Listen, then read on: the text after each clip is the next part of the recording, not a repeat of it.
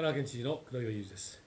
本日緊急事態宣言関西圏は解除されましたがこの首都圏そしてこの神奈川県は解除されませんでした。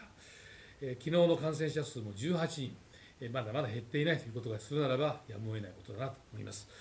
えー、今しばらく皆さんと共に我慢しなきゃいけないなというふうに思っています。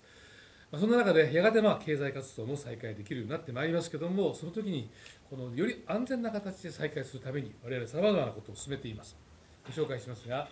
LINE コロナお知らせシステムといったものです。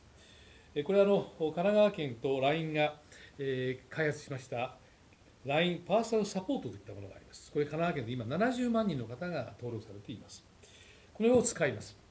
お店の QR コードをこの LINE でピッと読み取ります。そして後日ですねそのお店で万が一その同じ時間帯にいたその方が陽性だと分かった場合ですねそれがこの流れを通じて LINE を通じて皆さんのところにピッピッピッと連絡がいきます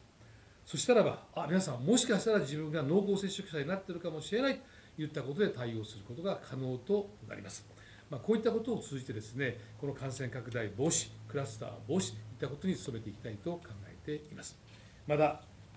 LINE パーソナルサポートに登録されてない方は、ぜひ登録をお願いしたいと思います。